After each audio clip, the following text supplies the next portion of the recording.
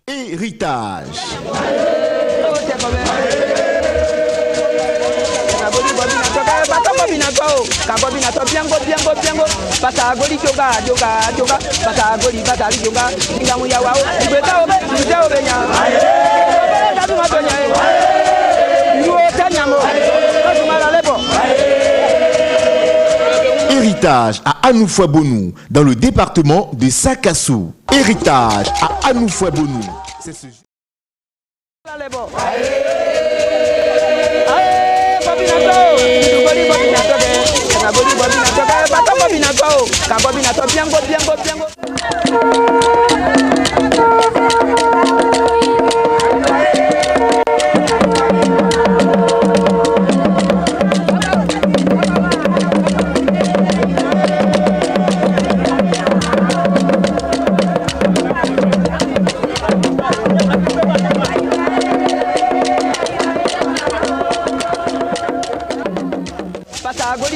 Joga, joga, baka gori baka joga. joka nga mu yawa o igbe ta o be igbe o be nya.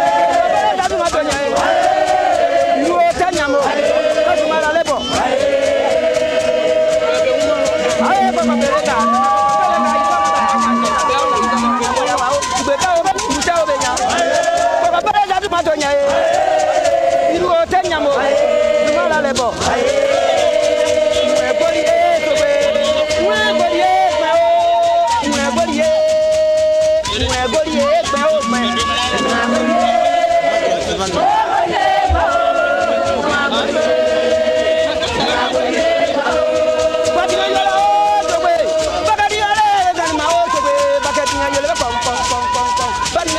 Ganima o ganima.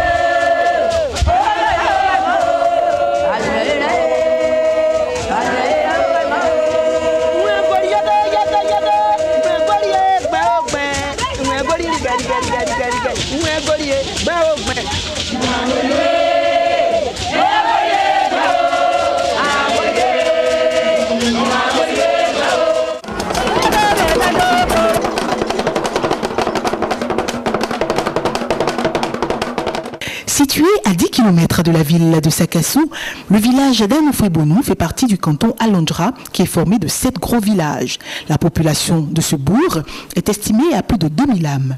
L'agriculture y est pratiquée par l'ensemble des habitants, notamment la banane plantain, l'igname, le manioc, le café, le cacao, l'anacarde, etc. Le dynamisme et l'implication des cadres d'Anoufouebonou a permis la construction d'une école primaire de six classes, l'électrification et la mise en service de trois pompes hydrauliques fournissant de l'eau potable. Le mauvais état de la piste reliant le village à la ville de Sakassou rend l'accès très difficile et le manque de centres de santé rend la vie inquiétante en cas de maladie et d'accouchement. Notons qu'Anoufouebonou est habité par des baoulés avec une famille commerçante béninoise, comme pour montrer l'hospitalité légendaire qui caractérise ce peuple. Avant de vous présenter les danses qui y ont cours, visite a été rendue au premier magistrat de cette ville qui dit l'utilité de cette émission. Sakassou, c'est le siège du royaume baoulé. Quand vous venez à Sakassou, vous êtes en plein dans la tradition baoulé. Donc, euh, il est bon de savoir que nous voulons revivre à Sakassou avec les anciennes danses. Ces danses ne sont plus très pratiquées, mais nous ne voulons pas que ces danses meurent. Madame, Monsieur, bonjour.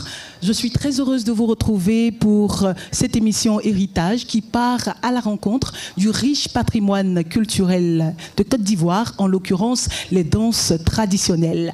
Nous sommes à Anoufoué-Bonou, qui est à environ 9 km de la ville de Sakassou. Sans plus tarder, je vous prie de recevoir la première danse du jour, le glo, qui est une danse guerrière.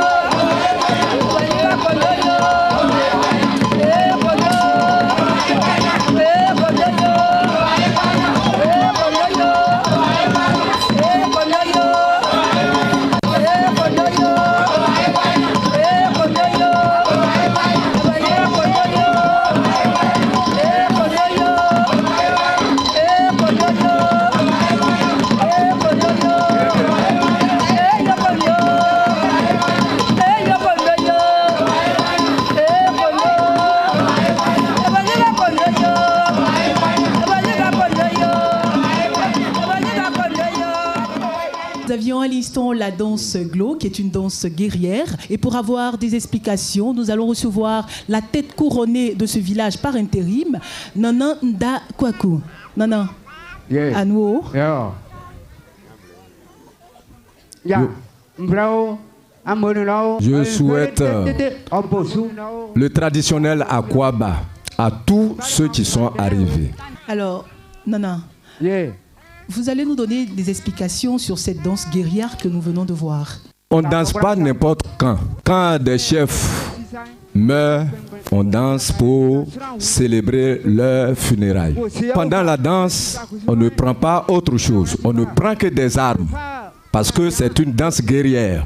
Le tam-tam, c'est un tam-tam de guerre. C'est un tam-tam qui alerte pendant une attaque. Même pendant les funérailles, on ne prend que des armes pour effrayer tous ceux qui assistent, pour prouver que c'est vraiment une danse guerrière. Dans le glow, on a vu la présence de femmes, mais la différence entre les hommes et les femmes, c'est que les hommes étaient euh, munis de machettes et les femmes de bâtons. Les femmes ne pouvaient pas porter des armes, leur défense, c'est des bâtons. Les hommes, pour prouver qu'ils sont hommes, ils prennent une machette. D'accord. Et les tenues qui sont arborées sont, euh, on va dire, originaires de Anoufouabonukro, ou euh, c'est, c'est- c'est- c'est- on va dire, c'est commun à, tout- à tous les villages. Les femmes s'habillent correctement, mais les hommes, pour effrayer, c'est une danse guerrière. Voilà. Ils se maquillent, vous les avez vus, le visage très noir. D'accord. Avec la permission donc du chef de ce village, on va partir avec une autre danse qui est exécutée cette fois par des enfants, le clan.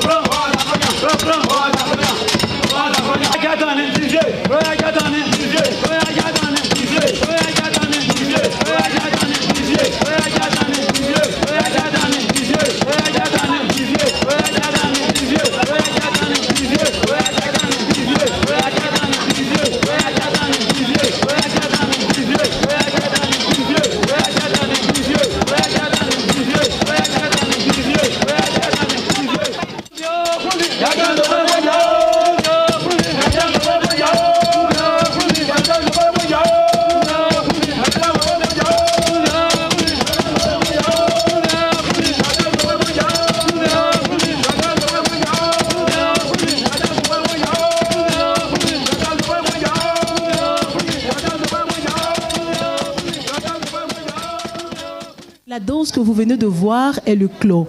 À l'origine, non, non, cette danse est celle Non, non. des enfants. C'est la danse des enfants. Pendant la saison sèche, ils dansent. Le masque est un masque commandeur. Il passe de cour en cour pour demander à manger. Tout ce que les femmes leur donnent, ils s'en vont se réunir dans leur forêt sacrée pour se partager. Souvent, ils font un feu. Si c'est des ignames, ils le préparent ou bien ils le font griller. Mais aujourd'hui, vous avez vu que ce sont de grandes personnes qui ont dansé. C'est pour la circonstance.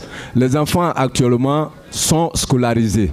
Et comme c'est devenu rare, on ne pouvait pas monter une équipe sur place. D'après nos sources, les enfants donc qui dansent le clos n'aimaient pas le manioc. Non, ils n'aimaient pas le manioc. Lorsqu'on leur présente euh, un tubercule de manioc, ils leur disent que le clos a mal aux dents, qu'il ne peut pas euh, se nourrir de manioc. Et donc, les enfants suivent le masque et c'est le Oui. masque qui a un récipient pour recueillir Voilà. tout ce que Non, les, les- euh, les familles sɔnu Euh, celui qui reçoit, ce sont ceux qui suivent le masque. Le masque même n'a pas droit de toucher. Voilà. Ce sont ces accompagnateurs qui recueillent tous les dons. Donc- Deux fois même, ils reçoivent en espèces. D'accord. Et la présence du masque symbolise quoi? Kurunfite Bon, s'il est absent, euh, il ne donne pas la valeur. Et ça n'attire pas à des gens de leur donner quelque chose. Il faut qu'il soit euh, présent à tout moment, à toutes circonstances. J'espère simplement qu'au sortir, on va dire, de cette émission, vous puissiez être incalable sur les danses de, cette, de ce village, on va dire. La prochaine, c'est le kondo. Je vous prie de l'apprécier.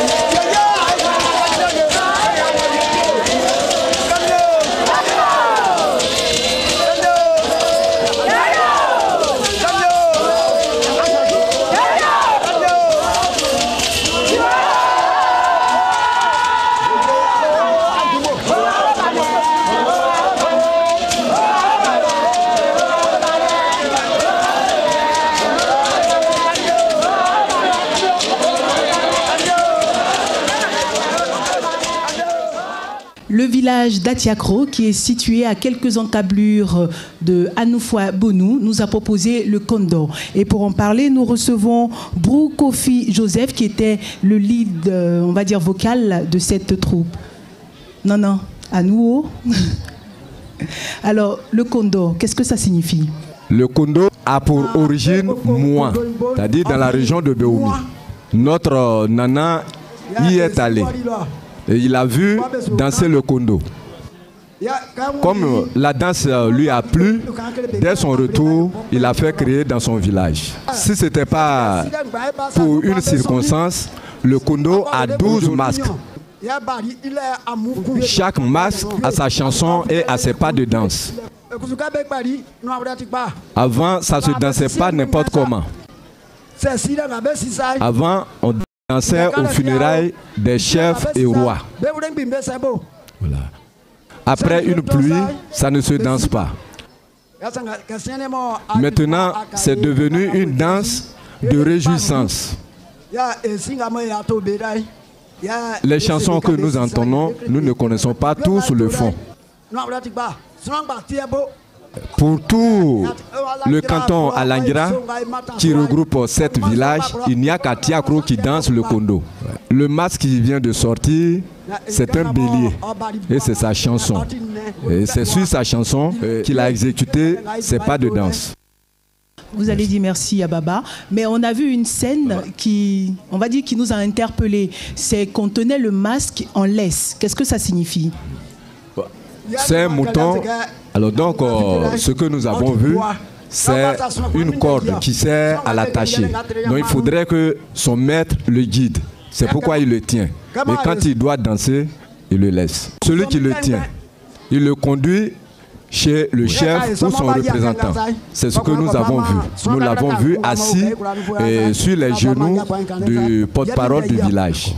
C'est-à-dire qu'il a confié au village. Le mouton aime beaucoup l'igname. C'est pourquoi le monsieur tenait un morceau d'igname et pendant qu'il avançait, il découpait un petit morceau. Il y a un instrument également que nous avons vu, c'est euh, les corps. Est-ce que ça signifie quelque chose pour euh, la population d'Atiakro? Le corps, c'est pour accompagner les instruments de musique. Sinon, il n'a pas une signification particulière. Avec donc la permission de nos deux doyens ici, nous allons partir avec une autre danse qui est le goli.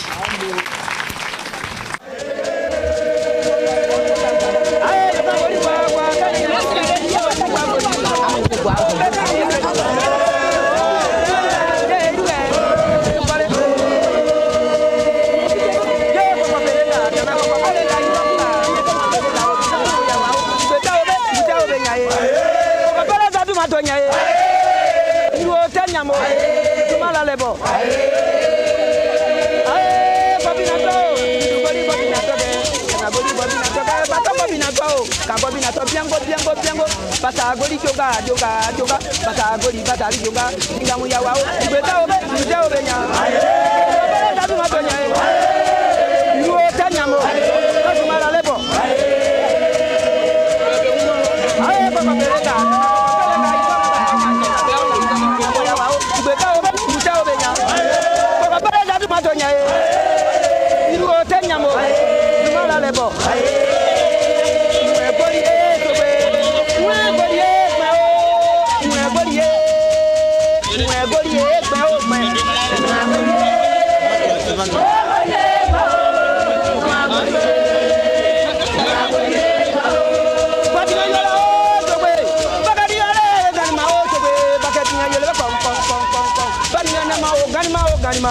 Congratulations.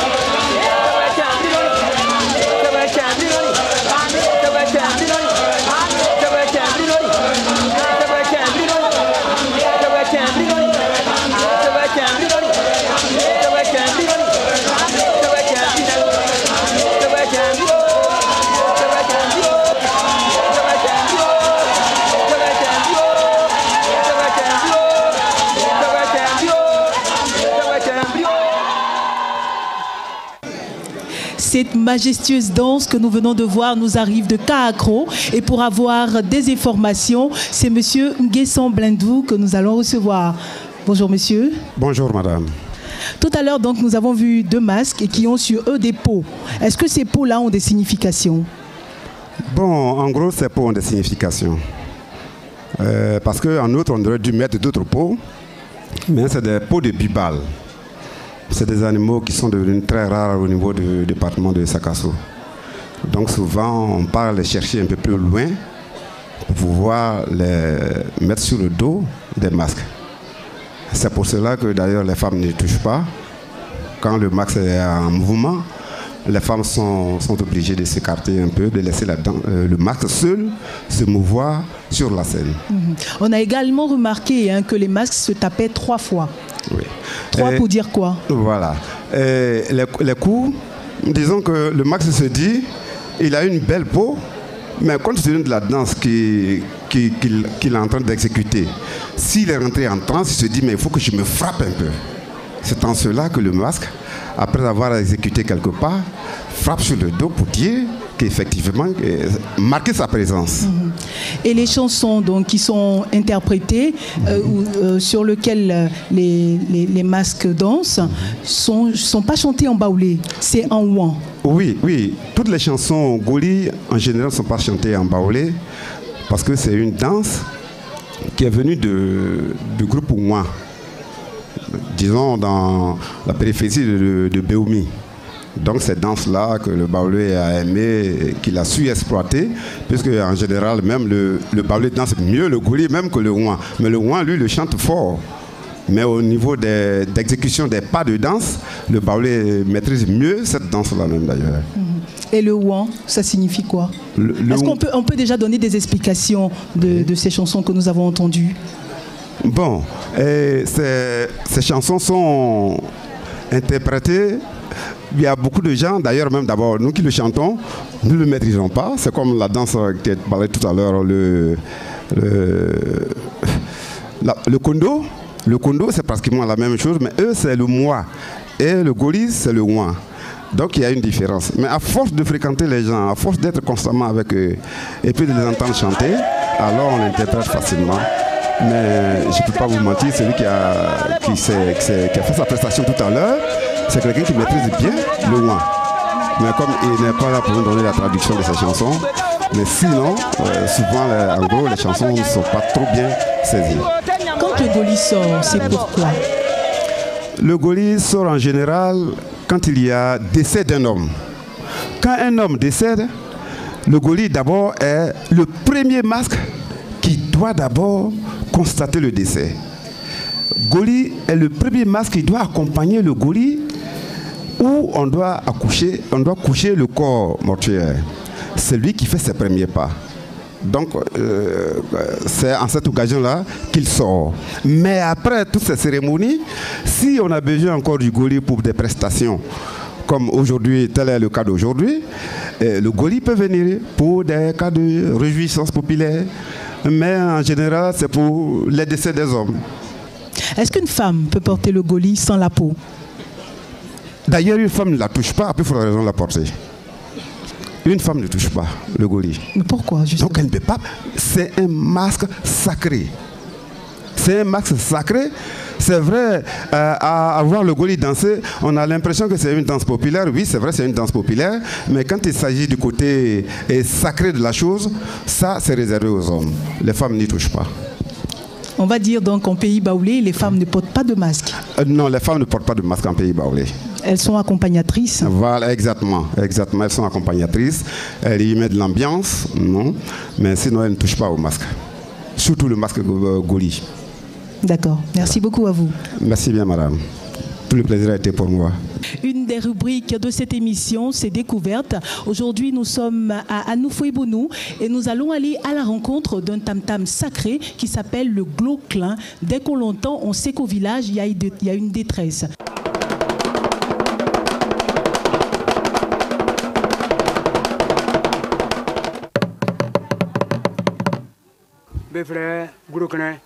Ce tam-tam s'appelle Gloclin. Entendez, tam-tam Gouro.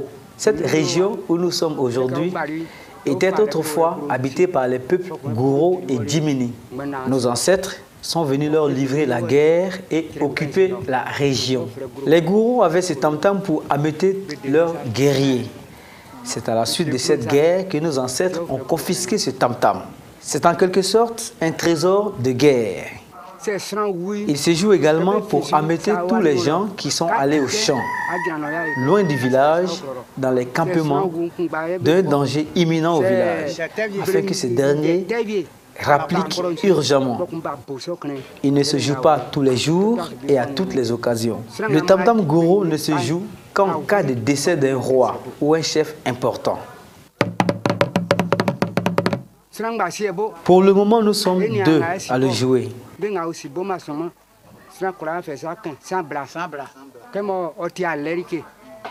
Tout le monde peut le jouer, sauf les femmes, à cause de son aspect guerrier.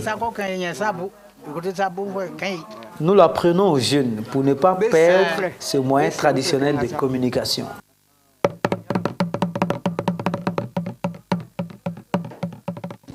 Voilà, c'est un tam-tam qui a des siècles et qui représente tout un symbole pour ce peuple. Continuons avec nos danses traditionnelles et cette fois, c'est avec la djemélé.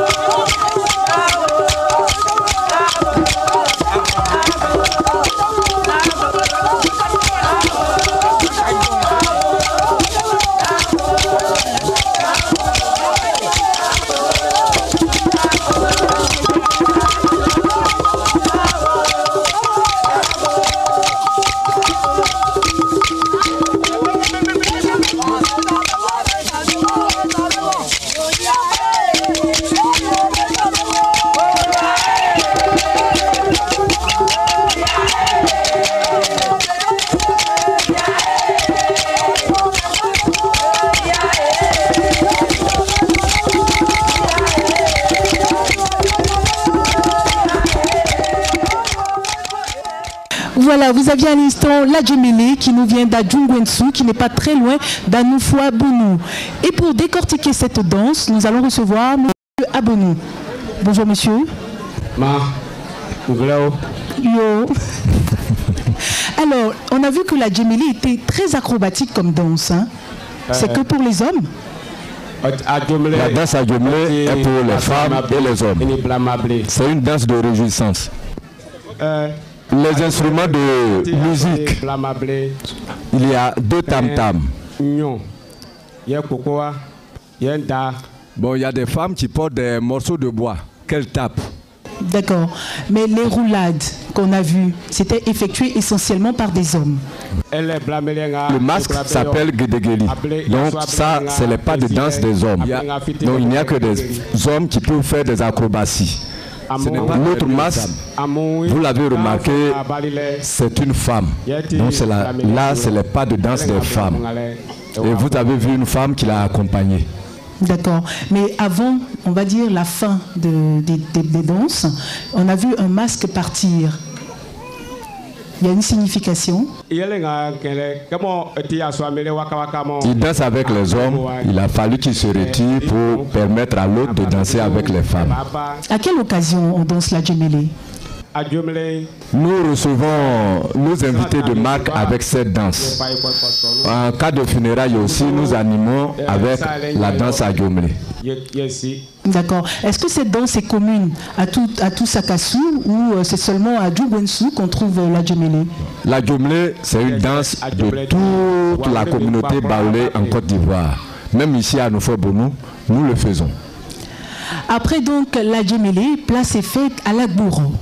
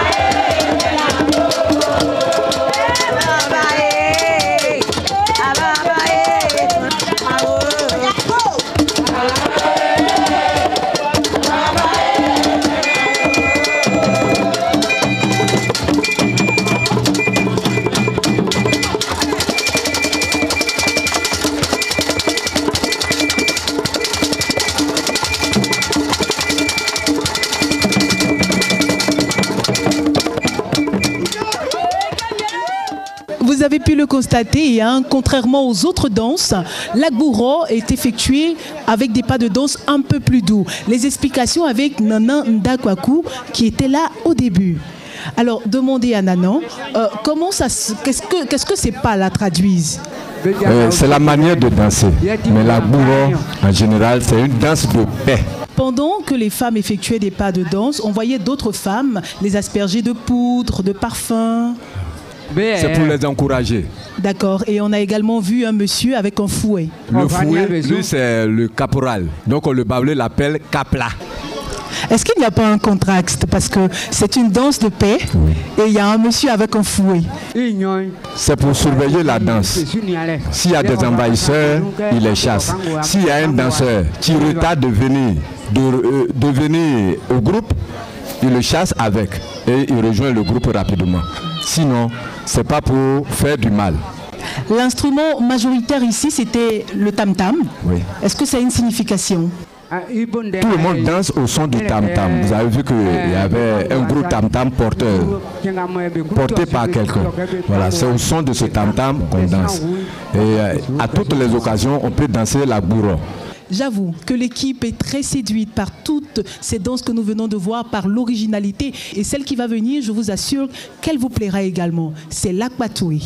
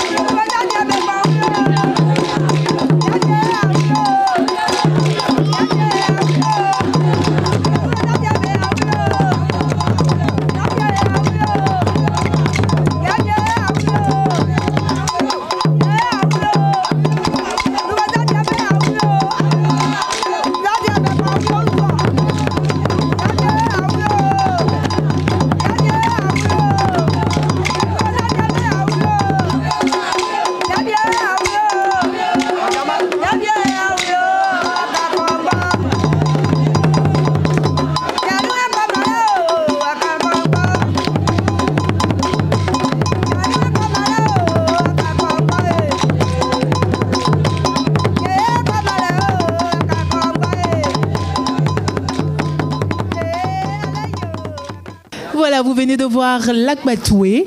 On va avoir une explication de cette danse. L'Akbatoué, c'est quoi?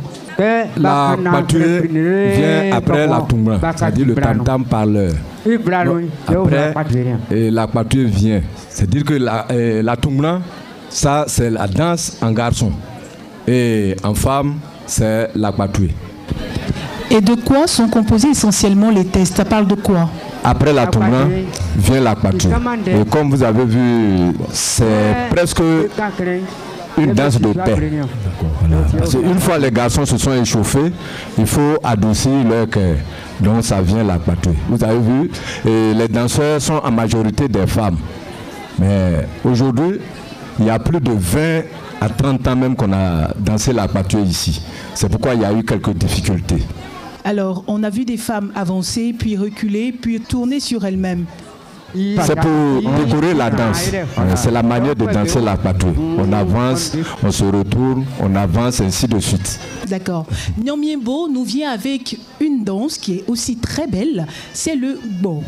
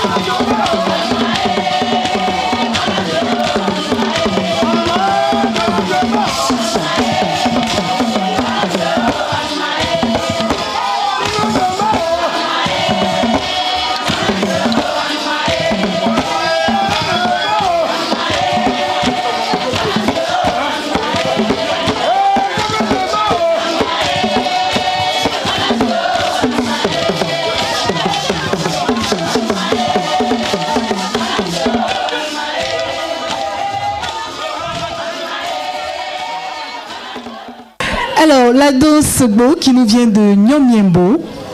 Et nous sommes avec un doyen pour nous donner des explications sur cette danse. Bo, qu'est-ce que ça signifie? Le bo est une danse de notre village.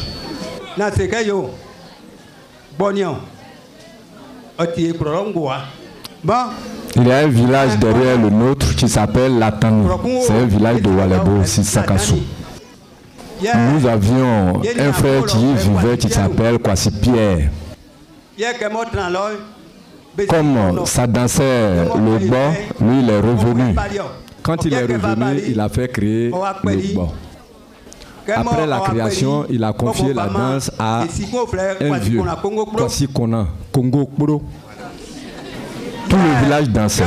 Mais ces vieux qui ont vu naître cette danse sont tous morts. Et le bois est vieux de 85 ans. Nous dansons le bois jusqu'à Sakassou. Et il n'y a jamais eu deux. Autant de, de foires à Boaké, ils se déplaçaient avec cette danse. Aujourd'hui, c'est la deuxième fois. Mais le bord se danse à des moments heureux comme à des moments douloureux. Nous avons vu le masque exécuter, on va dire, à la perfection, suivre à la perfection le, le, les tam-tam, le son du tam-tam. C'est son tam-tam. Le masque doit danser toujours au son de ce tam-tam. Nous, les hommes, nous avons des calebasses que nous tapons, nous chantons. Les deux hommes au-dessus du masque avec euh, le véhicule représentent le corbillard en train de transporter un mort. Après avoir fait sortir le cercueil du corbillard contenant le corps, nous dansons le bord. Depuis que nous avons créé le bord, il n'y a pas un autre village dans le département de Sakassou qui le pratique. Mais pourquoi justement le- c'est ce masque-là qui porte le corbillard sur euh, la tête? C'est significatif. Donc nous avons représenté le transport des morts par ce masque. C'est ce que cela signifie tout simplement. Nous avons un digne fils de ce village qui est là pour assister à cette émission Héritage. Il s'appelle Adjé Daniel. Bonjour monsieur. Bonjour madame. Alors, qu'est-ce que vous pensez déjà de cette émission? Euh, avant de vous livrer mes impressions, permettez-moi d'adresser tous mes remerciements tout d'abord à l'équipe de la RTI pour l'opportunité qu'elle nous offre de faire découvrir le riche patrimoine culturel d'Anoufoué Bono. Ensuite, mes remerciements vont à l'endroit des populations du canton Alangra pour avoir accepté de se déplacer et de nous gratifier de tout ce que vous avez vu. Euh, Enfin, mes impressions, c'est celles que vous avez vous-même en tant que journaliste. Je vous ai vu vous exprimer à la perfection, tant les danses étaient bien exécutées. Et je souhaiterais que cela soit pérennisé. Seulement, j'ai un pincement au cœur quand je vois la tranche d'âge, nos vieux parents, ils sont, j'allais dire, les précurseurs de cette danse culturelle. Demain, je ne le souhaite pas, ils seront appelés. Est-ce que le transfert a été fait? Est-ce que la transmission à la jeune génération est assurée? Mon souhait serait que cela soit pérennisé à travers nos jeunes frères. Et je lance un appel à la RTI pour que, grâce à vous, cela puisse être pérennisé. Je vous remercie. Alors, monsieur Adjé Daniel, comment vous faites, hein, puisque vous êtes cadre de ce village, comment vous faites pour exporter cette culture-là?